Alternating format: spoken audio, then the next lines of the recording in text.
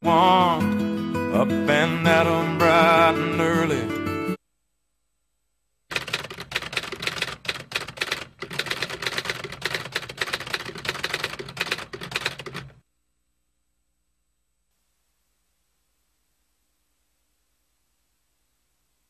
was the U.S. Army. The dates he served in was from August 1968 to March 1970. Mr. Robert Barraco, U.S. Army, Vietnam War, The date is May 15, 1968 to 1970. Yeah, I hope I get that.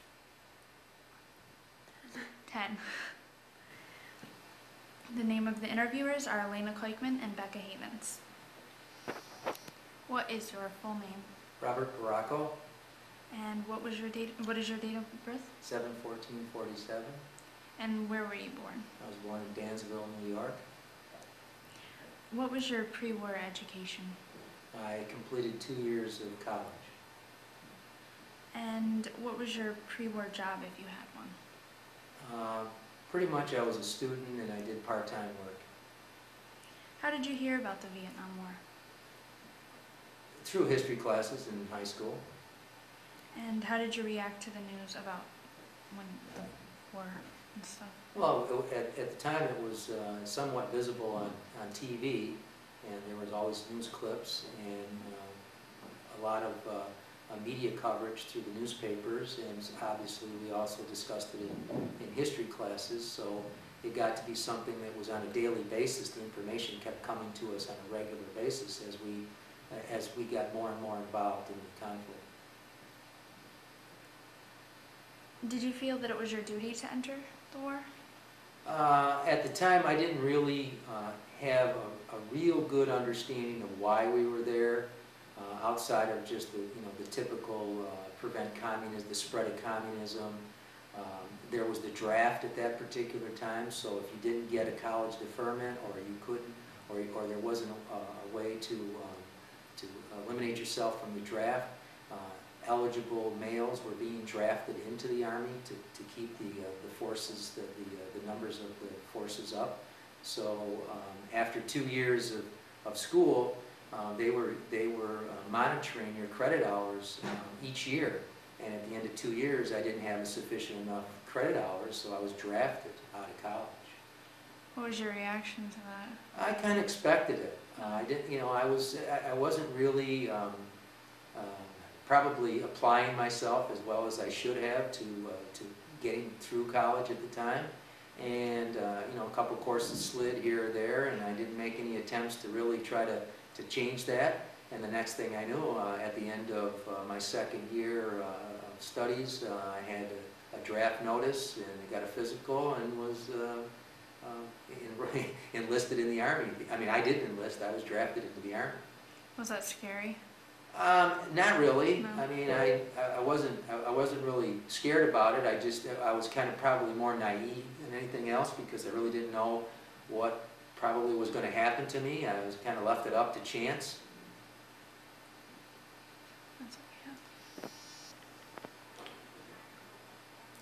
What. What do you remember about entering the service?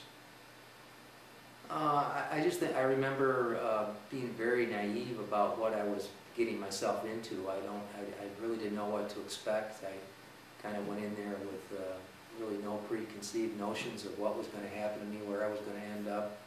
Um, You know, went through the training and, uh, you know, I knew the Vietnam War was, uh, still going on, still very, we were still very much involved in that.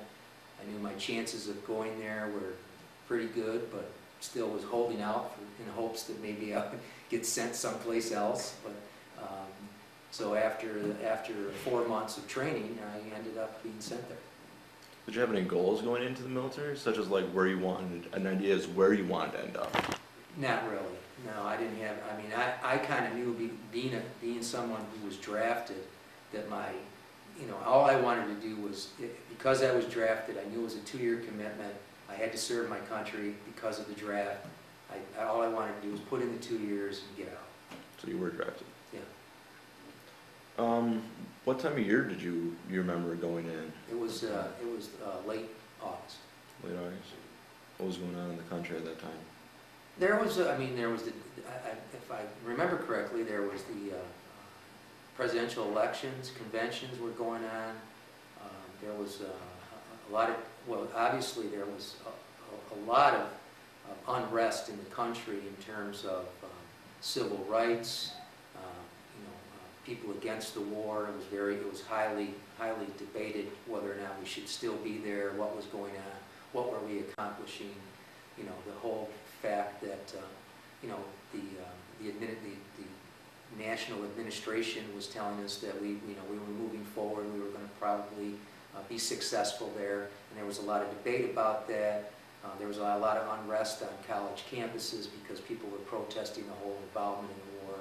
So it was a, it was a very, it was a very um, uh, tumultuous time in terms of how the country was really, um, uh, what, what the country was going through at that time.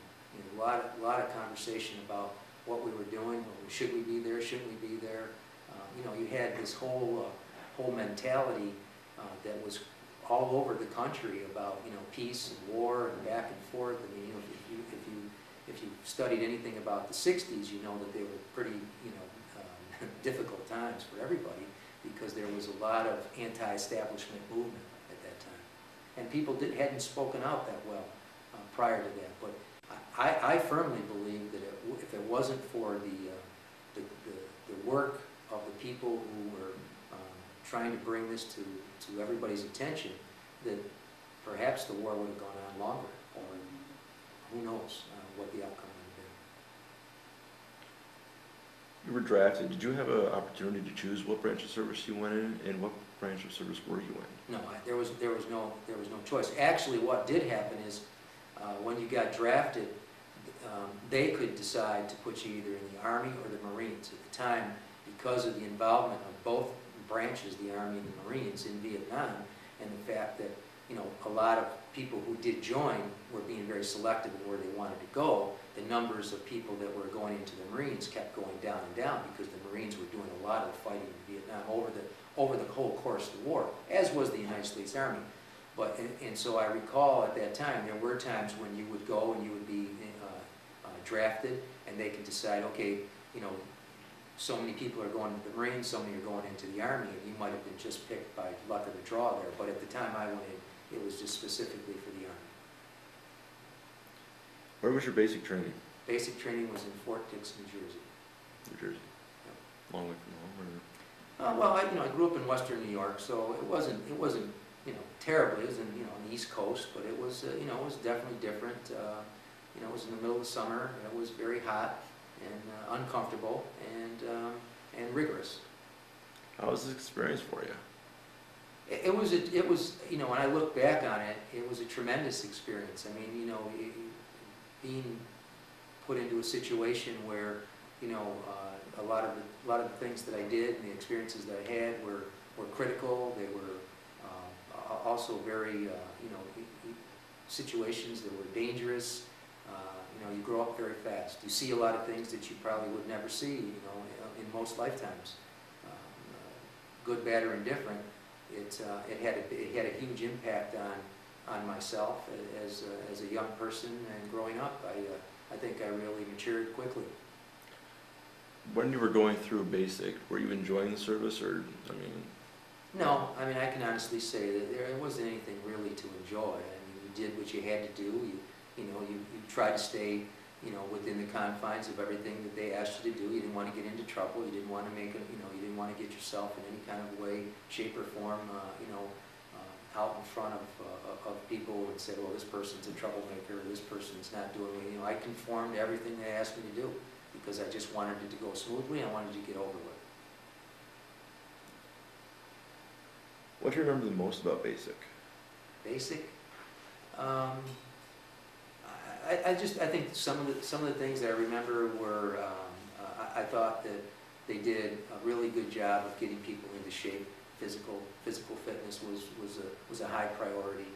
Uh, I didn't like the, um, you know, a lot of the regimentation, uh, you know, the marching and those kinds of things that you had to do. Didn't seem to be, have that much value. But I, I, I, and because I, you know, I, I don't, I thoroughly enjoy, uh, you know, exercise and so forth, and I always did, and I was in good shape when I got there, I just thought that they, I thought that the physical fitness aspect was very good, and, and, for some, you know, to a degree, I didn't mind it, I kind of enjoyed it, it was good to know that I could, I could do everything that they challenged me to do. And, you know, and that, that ran the gamut of, you know, you had to do a, a complete physical fitness, uh, you know, thing every day, every morning, every afternoon, you did, you did physical fitness kinds of things. And then there was a, there was a test at the end of the eight weeks that you were in basic training that you, you know, they, they kind of scored you against. And so, you know, I wanted, I was kind of like, my own personal goal was to do the best I could. So I think I enjoyed that. It Wasn't anything that a lot of people enjoyed. It depends on the kind of person. What kind of physical training did they put you through? Uh, A lot of running, uh, you know, we did a lot of, we did, you know, exercises, push-ups, uh, we did, uh, you know, over, uh, we did, uh, every day before you went even had to eat, every meal, there was a, a, a, a, you know, a ladder that you had to, you know, kind of hand over hand kind of thing. You had to do that every, before every meal. Everybody went through that line, before you can get into the mess hall, you had to do this ladder thing. And it built up strength, you know, if you did that every day, three meals a day, you know, they, they were, basically, didn't really think about it, but you were, you were getting stronger doing that kind of thing. In addition to the running that we did, and the, you know, every morning, early PT, and the afternoon PT that we did, physical training. Um, Those were, those are the kind of things I remember mostly. What was like the routine like? You mentioned the ladder and the running. Like you wake up in the morning. what Yeah, did we you get go up in the through? morning, first thing we would do, and we would have, uh, they'd do kind of like a roll call, everybody'd have to, you know, line up, and they'd make sure that everybody was still there from the night before, and then they would take us on a run, and we would do all kinds of physical, fit- you know, we do some, we, we do a a variety of things, whether it's running, push-ups, sit-ups, uh, uh, you know, uh, we, we had to carry a person of our equal weight, you know, a certain distance, you know, and was just more, just uh, an intense amount of, uh, of physical training that they could put you through. Lasted about, a, you know, probably a good, uh, you know, 45 minutes or so, and then, and then from there you went on to breakfast, and then you had classes and different things. Some of it was, um, uh, some of the classes had to do with uh, actual utilizing weapons, uh, grenades, uh, M16, uh, taking them apart, cleaning them, getting familiarized with the with various things that you would probably have to have, regardless of whatever whatever job you got. Um, and then and then there was just a lot of uh, you know regimentated kind of uh, information about you know uh, you know who, who who do you salute, who are the officers, what does this mean, you know uh, you know pecking order of people, um, you know rank and so forth, you know what each rank had, what the responsibilities were, that kind of thing. You mentioned classes about jobs. What was your job? Um, I was, after basic training, then you get assigned to another, uh, another two-month um, uh, training program. And I was sent directly to artillery. Artillery was basically uh, utilizing, um, you know, uh, what they call howitzers and so forth. And um, so I was sent to Fort Sill, Oklahoma, where that was kind of, that, that was a area, a specific area where they did that, where they trained you in, you know, firing, it uh, you know, all the aspects of, of, of using uh, howitzers uh, and, uh, and, um, and, and, and whatever went along with that, you know, the, uh, the types of explosives that you might be encountering uh, when you, when you fire those, those uh, howitzers. Um, to be honest with you, I never, ever, after the two months, had any involvement with that whatsoever when I got to Vietnam. I was assigned to something, I was assigned as an artillery person, I was assigned to an inf- armored infantry unit because there was a need for somebody who could read um, a, a topographical map. And because I had taken a geology course in college, and they asked me, can you read a topographical map? I said yes, and so I got assigned as a, with a forward observer to an armored infantry unit where I had a totally different job than I was trained for. Something that I really didn't really know until I got there. I was on the job training pretty much, So your training didn't really transfer into much. not at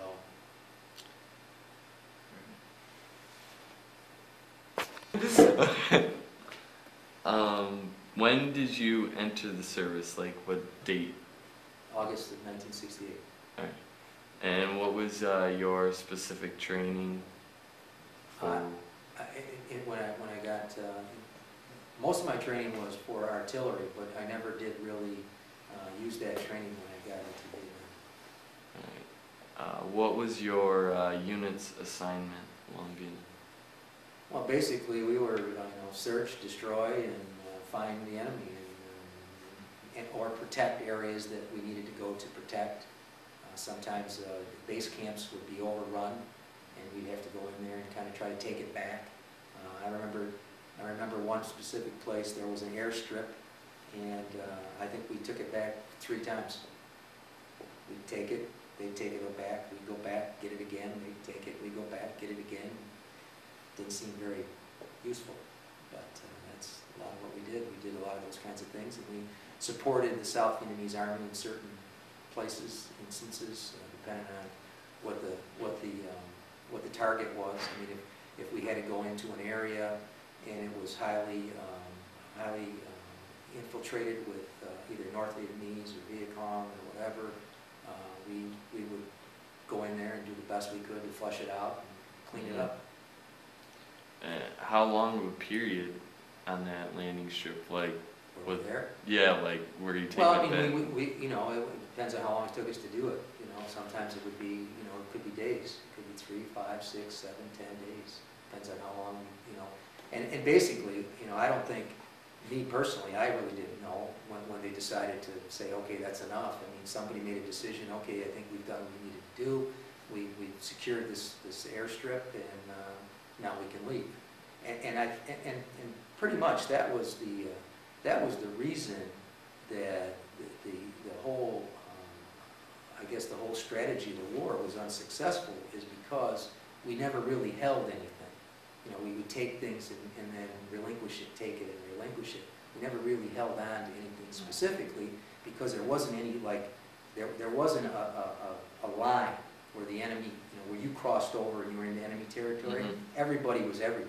Mm-hmm. And so that was the really, that was the most difficult part, because it didn't matter where you were.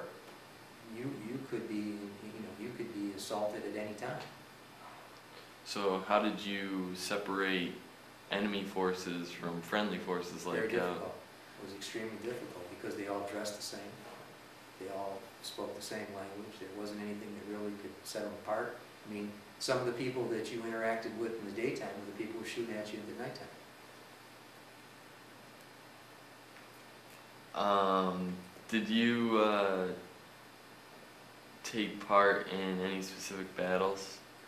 You know, in Vietnam, there weren't, I mean, I, I'm trying to think of, you know, there weren't anything like, you know, specific, specific battles. There were, you know, there were, um, I think there were times when we were sent out on, like I said earlier, I think there were times we were sent out to do something, to accomplish a specific thing, like take that airstrip or whatever, so, um, I, I don't recall anything that would say, oh, this was the battle of, you know, that Mhm. kind of thing. I mean, there, there were, there were places in Vietnam where that happened, uh, I think there were major skirmishes that were lasted a long time. There were different parts of the country that that happened in. But uh, for the most part, where I was in my experience was a lot of these, you know, these kinds of encounters where you go out, you'd have to accomplish something, you, you, you- you do that, and you go back to your base camp, wait for another assignment, go back out, do something else, that kind of thing. Now, was that just your unit, or was that part of a bigger, did you? Well, yeah, I mean, there was, I, I mean, the unit I was with was just one of, of many that, um, you know, we would get assigned to a specific area.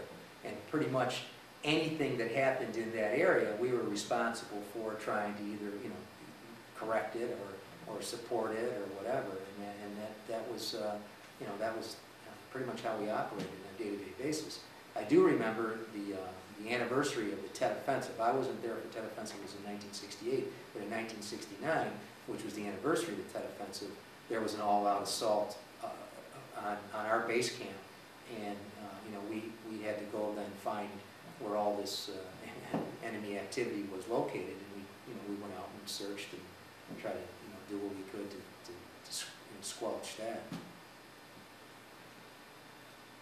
Um, what was it like fighting on foreign land?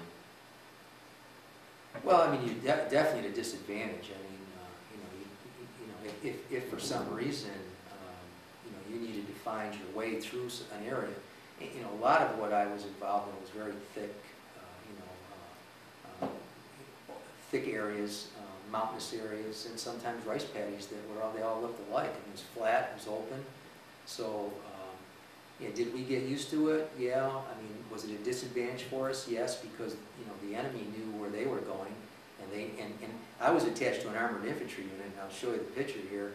Yeah, I mean, we had no element of surprise. I mean, we were tanks and armored personnel carriers, so when we went someplace, they knew we were coming, Mm-hmm. you know? So it wasn't like we could surprise anybody, or we, or, you know, or we could hide. There was no hiding and waiting, you know? So whenever we got involved in something, it was because they were, knew we were coming and they were ready for us. Yeah. So basically, you were going after them, and they just would stay back and waited. No, they would attack. They- There were, there, you know, um, you know, there, there was definitely, uh, I mean, the day, the day that I got wounded, it was an ambush. They were waiting for us, and they knew exactly where we were and where we were coming, and, and, um, you know, then kind of lit into us.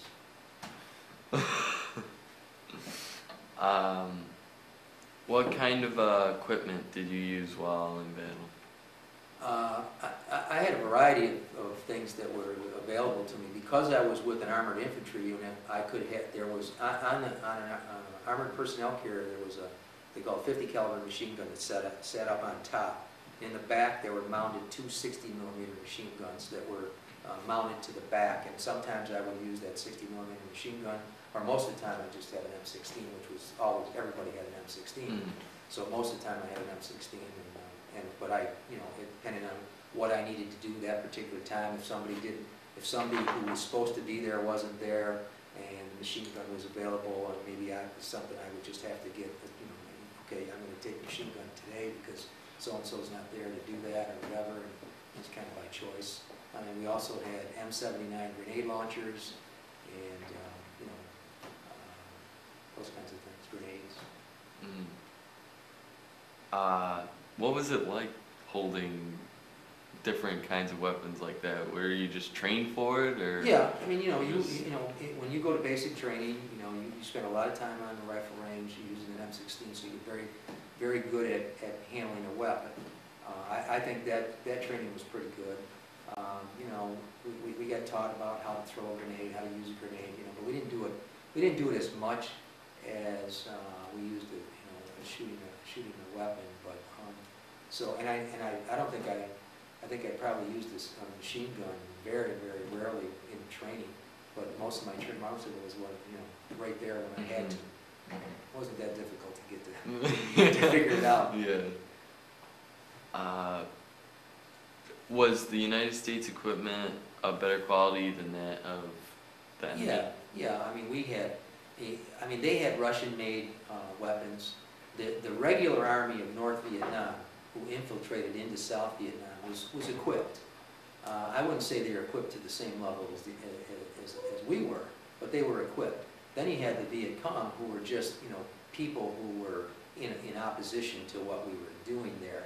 And they would get whatever they could get their hands on. And a lot of, a lot of times, they used things that we dropped or left or whatever, and, and turned them into to mines and, and uh, booby traps and all kinds of things. So they were, you know, the one thing that, that we didn't count on was the fact that they were very resilient and they were very, uh, they could do a lot of things that um, we had no idea. I mean, you know, the whole tunnel system, a lot of those things that they developed and, and, and were very good at utilizing, we weren't prepared for. So do you think overall that the United States wasn't like prepared Well, for? we were, oh, absolutely. I mean, we had tanks, we had armored personnel carriers, we had, we had planes, helicopters. They didn't have any of that. We fought a war with people that were on the ground, and we had planes, helicopters, tanks, and all these other things ineffective to some degree, because they were so good at digging into the, into the earth and Mhm. protecting themselves. I mean, the- These people could weather, a, you know, an all-out, you know, uh, uh, attack by F-16 fighter jets, you know, because they could dig themselves into the ground so deeply they wouldn't even be penetrated. Very, very interesting, you know, way of, of, of, of looking at it when you think about how they were able to survive. I mean, we had B-52 bombers. I mean, if you ever saw a crater from a B-52 bomber, uh, it was, it it probably left a hole in the ground as big as the, you know, as big as the gym. That's pretty big. And Yeah. then, and then the explosion from that, so, and these people could survive that, because they knew how to, they knew how to, you know, get themselves uh, protected. So they, And we, and we underestimated that. so they were well trained. Well, I don't know about well-trained, but they, they had, you know, because of the, because of the fact that they had gone through the war with the French and they had been able just to withstand the whole French uh, uh, assault that was there for years ahead of us, and, and they just kept, you know, they kept getting better at what they were doing, yeah, I, I, you know, and, and it was on their, their turf, so kind of like uh, home field advantage. Mhm. Um, how was combat similar or not similar to what you were trained for?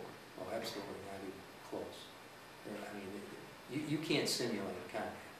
I don't think you can simulate anything that happens there, because the things that happen, you, you, you just, you don't know, you have to react as it happens.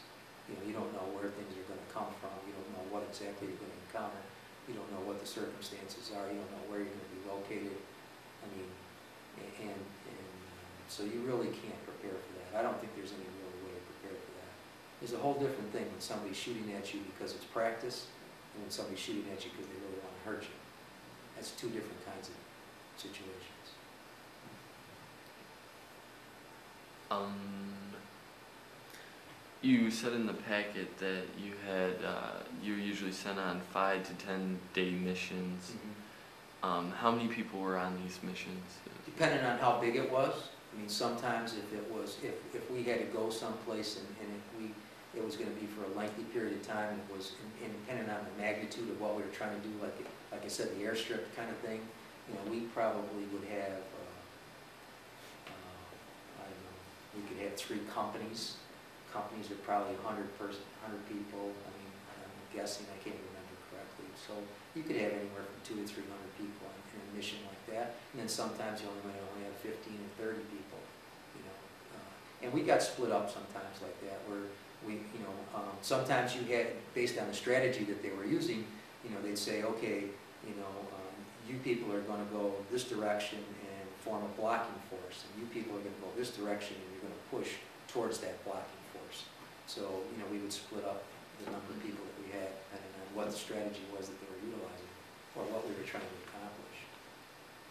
So, how would you, would you change anything when you had more people, like on a mission? Yeah, Like, is it different from Yeah. fighting with yeah, just it would a be, it'd be- small? depending on, depending on what we, we had to do, it would, it- you know, um, and sometimes we would, you know, if, if we were in a small group, um, you know, we would go through a village, it would be, you know, you'd have a whole line, because again, I was with an armored infantry unit, so you'd have a whole line of tanks and, and and armored personnel carriers, and they would just push forward in, in a, you know, it's a straight line, and just push forward into this area, and just, you know, sweep through it, and whatever was there, if, if it was an area that they said was, you know, shoot on sight kind of thing, then you just shoot up the area.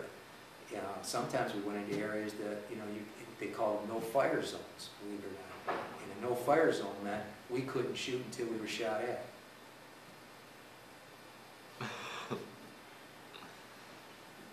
Uh, um, what was it like looking for these enemy forces while you were on these missions? And it, you know, it was, um, you were, you know, you're always anticipating something gonna happen. You didn't know how, when, or where it was gonna come from. Um, Sometimes it could be surprise, sometimes, sometimes we encountered sniper fire, where, you know, you might just, there'd be one or two shots, boom, then it's over. That's it. And, and everybody's looking around, is everybody okay? You know, sometimes they would hit somebody, sometimes they wouldn't hit anybody, and they'd never hear another shot. Other times, they would, um, they would try to hit us uh, in kind of a, a, a quick uh, attack where it would be really fast, maybe, you know, 10, 15 minutes, and then they'd be gone. Other times, they would be uh, dug in, and you might, you know, you might encounter something, and it would be a, a firefight that would take for, a- and take a little while. You know, It always different. Really kind of how it all. Mm, Were you always on the lookout, just Yeah. like waiting? Mo- Most of the time, most of the time, we were, you know, we were, it was, it was a a wait and see thing, or when we went into villages and something, and they, they said, you know, you just gotta go in there and clean that up, Mhm. then it was a little different. Um, How did you feel like overall in combat? How, what was your feelings about it? Well, I mean, you're always scared you can't, you can't put a, you you can't put a, a real value to what that's like. I mean, when you know that, you know, the chances of you, you know, somebody getting somebody, you know, you, you- you always hope there wasn't, you- you always had the, the feeling, I hope nothing's gonna happen to me, but, you know, inevitably, when that, those things are going on, I mean, you're just trying to think about surviving. You know, I, I don't think anything goes through your head other than, you know, I just need to get through this. That's pretty much it. You um, so, like with your other partners, were you always looking out for them on? Oh, absolutely. I mean, you know, you, you, you did whatever you had to do to protect everybody who was there. Everybody was very good about that. Everybody was, uh, was always looking out for each other because you had to depend on somebody else all the time. Yeah. I think, I think that was probably, probably one of the, the most significant things that I can remember is that everybody had your back. You know, Everybody was there to take care of everybody. Nobody wanted to see anybody get hurt or anything like that.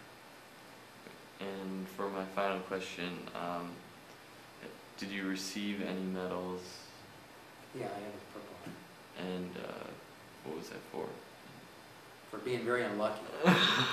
Um, I was just in the wrong place at the wrong time. I got wounded. Uh, you know, was, uh, uh, while I was on one of these missions where we were going out to defend uh, a South Vietnamese um, uh, camp, uh, we were ambushed on the way out there. Uh, the armored personnel carrier that I was on hit a landmine. Uh, it was explosion, ambush. Uh, you know, got uh, kind of blown right out of the armored personnel carrier.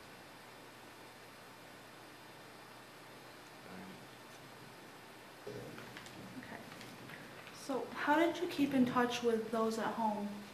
letters. Uh, You know, we were able to, we were able to send uh, mail free uh, because, the you know, the government allowed us to do that. We just put free on the envelope and, uh, and mail- and we would communicate by mail. It took a long time because you know, by the time we sent it and got back home, it was probably, I don't know, it was probably six, seven days, I would imagine. I don't know how many days it took, but I'm sure it took a while before, uh, you know, whatever information you sent back and forth in the way of letters got there. It was just slow. You know, and depending on where you were too, whether or not you could get mail, that took a while too. So it was, a it was a slow process. You know, it'd be funny how, you know, I think back, I never really thought twice about it, but today it would be so much easier to be able to do things differently with technology. It'd be so, so much quicker. You could have access to, you know, talking to people, you know, instantaneously. Where back then it was all, all, all by mail. How often did you usually send out a letter? I try to send something once a week, yeah, at least once a week, if I could. You know, was, eh, you know, I, I I felt obligated to my parents to let them know that I was uh, either okay and things were all right, you know, so that they wouldn't worry, because there was no other way to communicate. What kind of supplies did you have during the war? Uh, supplies, I, I, I think, um, uh, for the most part, uh, you know, we had, uh, depending on where we were, if we were in base camp, um, there were hot meals, um, there was, uh, uh, you know, a kind of a makeshift shower, um, there was, there was water there, running water that you could get to, it wasn't real clean water. Uh, We were provided with um, uh, beer because the water was so bad. And so, so you, they had, you you could get, you know, you could get beer regularly because they didn't want you to drink the water. It it could make you sick. And so, uh, you know, those kinds of things. Uh, The other supplies were just whatever we needed when, it- when we went out into the field, you know, the the kinds of things that you needed out there in terms of, you know, yeah, you know, weapons, ammunition, clothing, those kinds of things. What were the supplies like? Um, Well, we had, we had uh, what they called C rations, were boxes of canned food and stuff like that that you could, that we would take with us, so that that's what we ate. Um, The other, uh, other supplies were, uh, you know, just uh, uh, grenades and bullets and, uh, you know, clothing, uh, helmets, weapon, uh, can't think of anything else that really, you know, and I was fortunate, I didn't have to carry that stuff because I was in an armored unit, so we could just put it into the, uh, either the, uh, the tank or the armored personnel carrier, so I didn't have to lug it around, so whatever I needed to take, a poncho, you know, a, a light blanket uh, for sleeping, because it was warm, so I really didn't need to, you know, have too much on me at night, um, those kinds of things. Okay. What was your most memorable experience during the war? Hmm, memorable experience. Uh, uh, probably, um, I, I, th- I think the, the- the camaraderie of the people that were there, the closeness that the, the, the people looking out for one another, the, you know, the friendships that you, uh, you established while you were there. Uh, everybody was in the same boat, everybody was trying to survive, everybody was looking out to just get out of there, be safe, uh, go home and uh, everybody wanted to see everybody go home safely. And I think the thing that, that the biggest memory I have is the, the closeness of the people and the friendliness of the people that I was with. What people do you remember most from your service?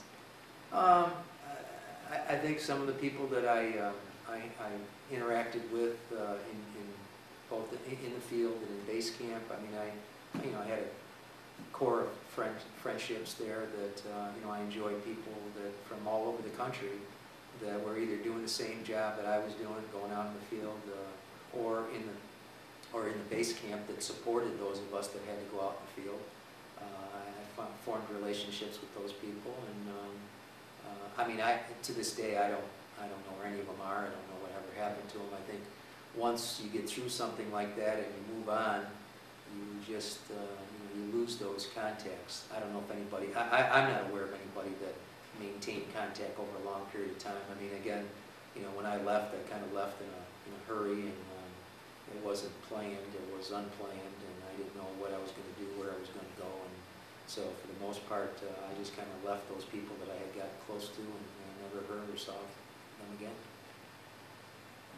Do you think about those people? Oh, absolutely, yeah, I mean, I, I remember some of the people that, uh, you know, unfortunately, uh, the people that I remember mostly, uh, you know, it's hard for me to remember their names, I can, you know, I can remember a few first names, maybe one or two people, but, uh, for the most part, it was such a long, and now it seems like such a long time ago, I just don't, I can't, I don't remember. What was everyday life like during the war? Everyday life, uh, it, it varied, depended, depending on where it was. If I was in, in base camp, it was very, fairly secure. Um, you know, I had certain things I had to accomplish, uh, keep my weapon clean, uh, making sure that the equipment that we had was, uh, ready.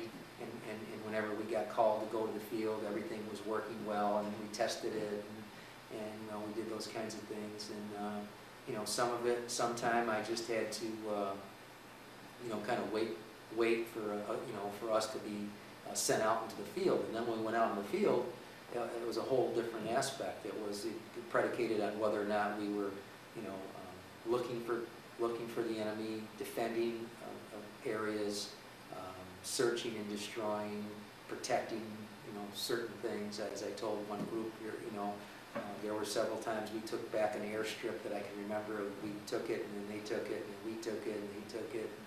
And that'd be kind of like what we would do. We would, we would have to drive out to these areas, because I was with tanks and other personnel carriers. We would drive out to these areas. In order to get from point A to point B, you could encounter anything. You could get ambushed, you could get shot at, you could get sniper fire, you could get, you know, you could get attacked, and all kinds of things could happen. And then you would get out to the specific area that where, where your, you know, your assignment was, and if you had to defend an area or take it back, you would have to try to, you know, you know, get the, you know, to move the enemy out of that particular area. Once we felt that that was accomplished, then we would go back to our base camp. How often did you usually have to wait to be sent out? Uh, it varied. It could be, could be a day, could be two days, could be three days. Sometimes, eh, not usually. We were going every couple of days. In two, three days, we'd be in, we'd be at base camp, then we'd be gone for five, six, seven, eight. Could be ten days. Then we'd be back again, and then we'd go back out again, depending on, depending on the severity of the situation, where we had to be called, whether or not it was uh, something that they needed uh, armored infantry for or didn't need armored infantry for. But we had an area that we pretty much tried to secure all the time. Some of the time, we just go back out and make sure that there wasn't any uh, buildup of enemy troops in the area that we were defending. As long as that wasn't happening, we were okay. How did you feel about the war at the time of your service? I, was pretty naive about what was really going on. I didn't, you know, I didn't, you know, I was young, I was impressionable, I didn't, I really didn't have a sense of what was going on until I got over there a little bit and started to look at things and figure things out that, you know, we, we probably weren't doing all we could uh, to end it. I mean, uh, guerrilla warfare is very difficult. It's not the same as, you know, uh, there are not, there aren't, any- there aren't any battle lines. You don't cross this line and then everything behind you is safe, and then cross another line, everything behind you is safe. We, you know, we were in an area where, you know, it didn't matter where you were. There were enemy people, there were enemy troops there, or, or, or enemy civilians too, because the Viet Cong were- were basically civilians who were fighting with the North Vietnamese army to, to, to over, you know, to just overthrow the South Vietnamese government and to, and to, you know, to destroy the American army as well. So in the daytime, you would see these people in the rice paddies and you would be driving through their farms or rice paddies. At nighttime, they were shooting at you. So it was very difficult to, you know, to really determine how successful we were or weren't. Uh, Were we doing enough? I don't, I, my personal feeling is no. I think we're, I think a lot of things that were going on there were very political. There were uh, all kinds of issues with, uh, you know, why we were there, should we be there? Uh, You know, there was uh, a lot of upheaval in, in, in, back in the United States about, you know, what were we trying to accomplish? Were we really trying to, you know, protect the South Vietnamese from communism? Yeah, that was the premise that we were there by, but there were, I think there were other issues there too that were clouded by that. I mean, I think there was a lot of benefit to um, private industry and economics. I mean, you know, the economy of the country was, was, was pretty good because they were supporting the war effort. There were a lot of companies that were getting uh, contracts, whether they were war contracts or, you know, supply contracts, those kinds of things. I think there was a lot of different things going on at that particular time. I was somewhat naive to that. Today, I can look back on it and say, yeah, yeah, I see some other reasons why we're there, maybe not all the right reasons. What made you decide to go into the war? I got drafted. I didn't have a choice. There was a draft at that time. If you were 18 years old and you didn't have a deferment, and, you know, you, you, you went for a physical and pretty much you got drafted if they needed it, you know, depending on how many troops they needed at the time. So I had completed two, well, I had almost completed two years of school, college, but at that time, you, you had to have so many credits at the end of each year. By the end of my second year, I didn't have enough credits to be a junior. So, and every year they checked to see where you were. Because if you were in college, you had a deferment, they couldn't draft you. If you, if that deferment was, uh, was no longer um, uh, activated, uh, they could send you a letter, and I come June of my second year, at the end of my second year, I was drafted and went into the Army. Had no choice. What were your responsibilities during the war? Um, I was with a, an armored infantry unit. I was assigned to that unit from an artillery unit, so I was with a forward observer. I, I, I used a radio. Uh, plotted um, defensive targets. Um, you know, when I called in artillery when we need to, uh, when we were engaged in battle, and when we weren't engaged in battle, and we were, uh, and they could use artillery. I was just like any other infantry person there. How did you feel about new technologies such as Agent Orange or Napalm? Well, I mean, Agent Orange, as you know, is is something that now, we hear, you know, or some, somewhat later, we we realized had a lot of, uh, you know, adverse effect on, on the health of, of all the people that were there. Um, At the time, I had no clue. A- And napalm, as far as I was concerned, napalm worked because it, it helped, uh, helped us, uh, you know, um, eliminate, you know, uh, enemy forces. And whatever we could do to do that, you know, I guess that's what we had to do. And um, I didn't have any real, any real feelings about it at the time, other than I saw what it could do, and I thought, well, as long as it's keeping, as long as it's keeping us safe, I guess it's okay. Do you have any other questions for him? Okay, Thank you for your time. Okay, are you the last group? Uh, what were your opinions of the war in Vietnam when you left? I had, I, I think I, I really can say I had a different opinion of what, what we were doing, what we were trying to accomplish or weren't accomplishing. I, I, I felt that after the war that, um, there was a lot of frustration, regarding how we went about trying to, uh, be successful there. I don't think, I don't think our strategies, I don't think our, um, uh, pretty much the way we approached it, was gonna be successful, because we never really held on to anything, we never really secured any areas to the point where we could eliminate uh, any uh, uh, enemy activity in a specific area for any length of time. Um, You know, guerrilla warfare is very difficult to deal with. Uh, The way we approached it, I think, was, uh, certainly was suspect in terms of what we were really uh, doing on a day-to-day basis. Um, My feeling afterwards was that uh, uh, I I think there was a lot of people that were were sacrificed for reasons that I'm not really sure we we we had good reason to be there. What was your opinion on the state of the United States when you got home? Well, it was, it was an incredible time. I mean, uh, you, if, if you've seen any footage or anything of what was going on uh, during the, the sixties and late sixties, when, when I got back, I mean, you know, when I went back to college, there was anti-war movement, it was, it had been going on, there's still anti-war movement, you know, uh, there were people who were totally against the war, trying to end the war, trying to bring about change, trying to let the government know that this was, this was not something we should continue to do. Uh, we were imposing our will on a, on a, on a, culture of people that didn't really want us there. I, I, I don't know for a fact if the, if the people in South Vietnam really cared about, you know, democracy or communism one way or the other. A lot, for the most part, I think they just wanted to survive and be left alone.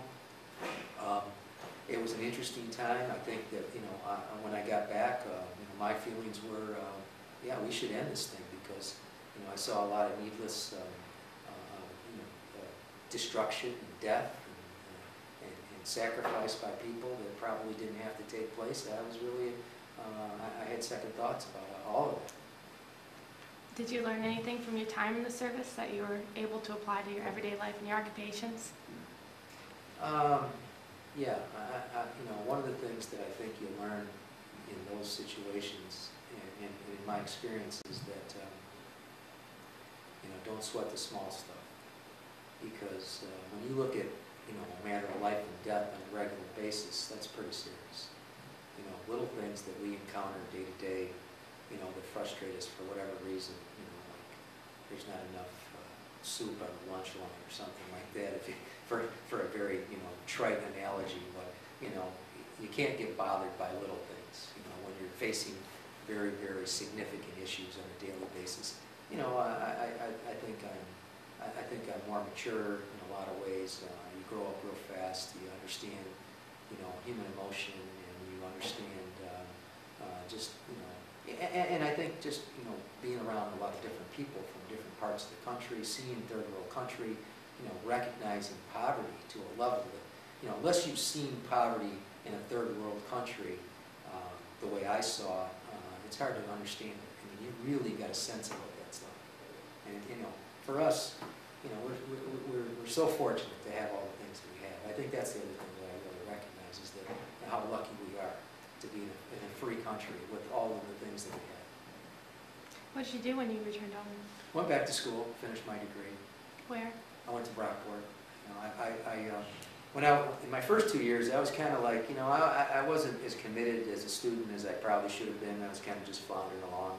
You know, I always thought I, you know, I was going to go to college, and I did that. But I guess, you know, I got sidetracked a little bit in terms of my commitment to that. But when I got back, I was more serious. I was more, I was more, much more mature, but I was much more serious. And I was a lot better student. What were you majoring in? I was a, I was a physical education major. I wanted to coach. All I wanted to do was teach and coach, and that's what I ended up doing. Um, what did you do after college? Got a job teaching Where? uh, in Western New York. Uh, back in the Rochester area, I got a job uh, teaching and coaching, and I did that for 11 years, and then decided that uh, I wanted to get into administration. Um, so I was part of the time I was the athletic director, and then my next move was to get uh, certified as a, as a school administrator, and then I became assistant principal, and became a principal, and subsequently a superintendent. Did your involvement in the Vietnam War affect your occupations after the war? No, no, I mean, I don't think it affected my, my, occupations at all. I mean, I think it, it, uh, again, I, I think it provided me with some, uh, some really understanding of, you know, how to deal with people and, and the fact that, you know, there, you know, a lot of the issues that we, we deal with are really, you know, very small in terms of how, how, how they affect us. Um, have you become involved in any veteran organizations? No, I have not. Have you attended any reunions? Have you kept in touch with anyone that you. No, were I have not. associated with? How did the military change or influence your life? Well, I I think, as I said, uh, an appreciation, I think just a- an overall appreciation for, for what we have, our freedoms, the fact that, you know, a lot of people don't have that, the fact that, uh, you know, we're, we're, uh, you know, democracy is, a- is a kind of a, of a, an approach that's uh, very beneficial to, to everybody. You know, when you look at people in, um, in third world countries and in countries that are in strife and in conflict and going through war and and upheaval, uh, what we have is, uh, we we should be very, we should, we should be very uh, thankful for, and, and, uh, for, for the people who have provided that to us and for, and for, and for the opportunity, the opportunities that are provided us here because of. Does the time that you spent in the military often come up in your thoughts? Uh, not really. I mean, you know, time to time, I might see something that'll trigger a thought. Uh, you know, I, I, I, have to say, and it's kind of, a, it's, it's a funny thing, and, and I, I'm I'm very, uh, it may sound, it may sound kind of, know, um, funny to you folks, but, um, uh, I, I served with a lot of, uh, African Americans, and I had a lot of interaction with them, and, uh, and got, uh, uh, got to like their music at the time. Uh, Motown music is, whenever it comes up, uh, it's a favorite of mine, and uh, I have a lot of memories. So listening to the music often makes you think of it. Yeah. Is there anything else that you'd like to add? Um, No, no, I don't think so. I think, I think this has been very good. I think that it's been very comprehensive approach, and yeah, I I thank you for the opportunity. Well, thank you very much. It was our honor to interview you. I